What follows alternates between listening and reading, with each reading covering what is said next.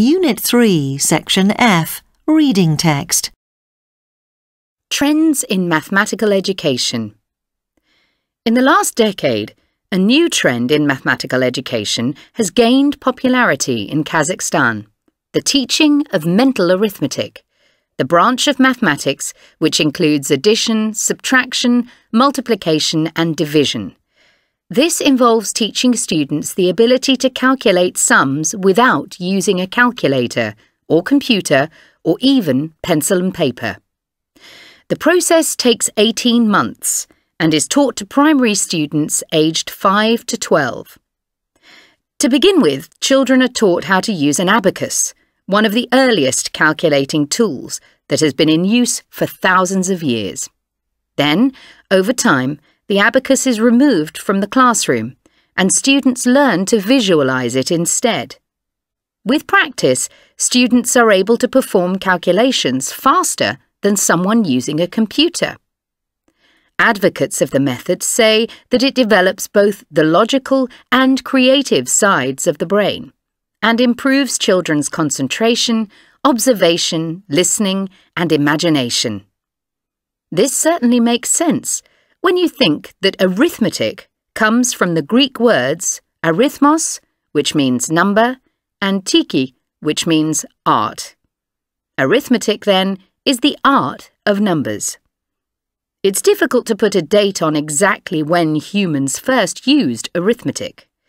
The first records show that simple arithmetic was used in ancient Egypt around 4,000 years ago although their symbols would be unrecognizable to us.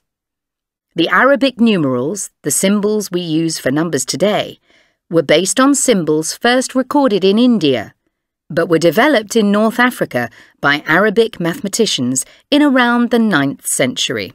Then, in the early 13th century, the Italian mathematician Fibonacci learned about them on a trip to Algeria and popularized the numerals in Europe.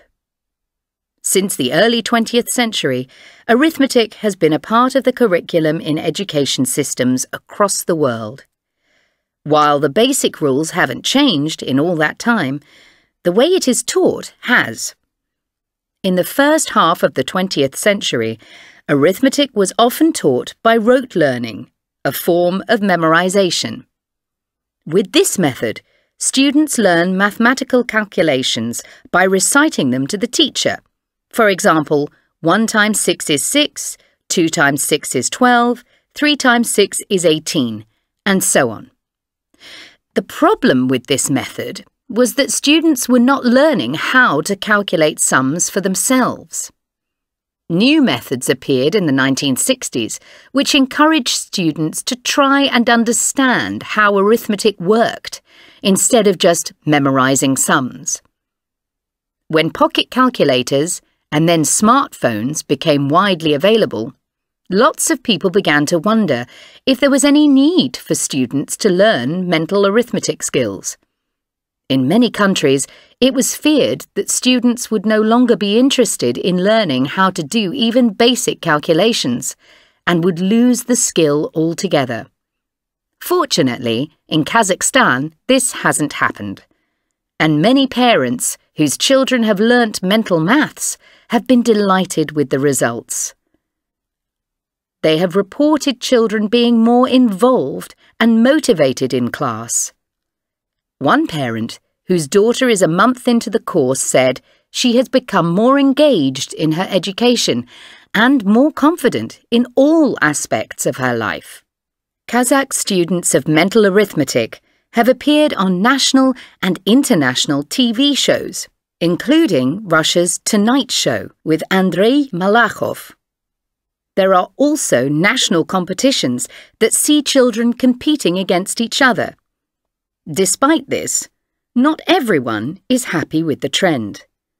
Naila Kasyanova, a primary teacher from Nur-Sultan, has questioned the method. She doesn't believe the method will help students who need to solve equations or complex maths problems that require logical reasoning. Other maths teachers have reported that their students have become obsessed with answering questions the fastest, but don't take the time to think about what they are doing. This is of great concern to teachers of all subjects, not just maths. While there is a lot to celebrate in children who can perform mental arithmetic quickly and accurately, experts believe it is important that this method is taught as part of a balanced approach to education. After all, in the 21st century, young people don't just need to be able to perform mathematical calculations. They also need to develop communication skills, critical thinking, creativity, logic, and emotional intelligence.